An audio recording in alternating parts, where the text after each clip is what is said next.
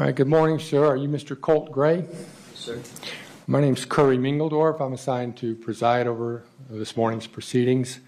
Uh, Mr. Gray, I do need to inquire as to whether you're able to read and write the English language. Yes, sir.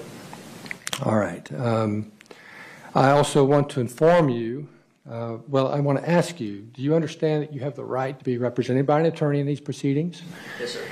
I want to inform you of the charges that you currently face.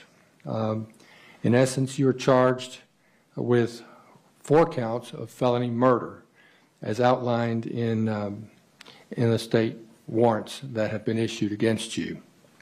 I want to make you aware that the maximum penalty for felony murder, uh, so for each count, the maximum penalty is that you could be punishable by death, by imprisonment for life, without parole, or by imprisonment for life, with the possibility of parole. All right, then uh, with that, this hearing is concluded, and you may escort this defendant out.